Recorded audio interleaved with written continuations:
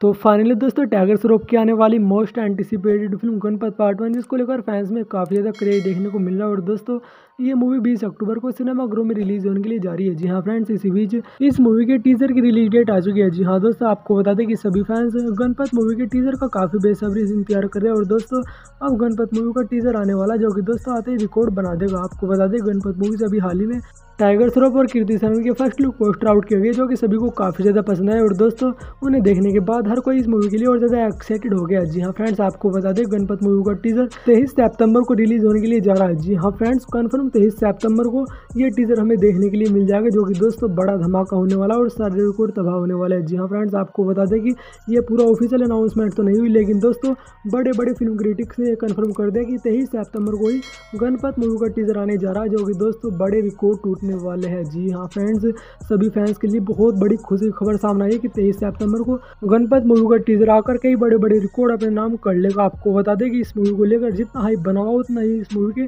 Teaser को देखने के लिए भी फैंस काफ़ी ज़्यादा एक्साइटेड नज़र आ रहे हैं। और दोस्तों, तेईस सितंबर को इंतज़ार खत्म होने वाला है। जी हाँ फ्रेंड्स फाइनली तेईस सितंबर को गणपत का टीजर आउट कर दिया जाएगा। आप इसके लिए कितने एक्साइटेड हो? प्लीज़ कमेंट बॉक्स में जानना बोले मिलता है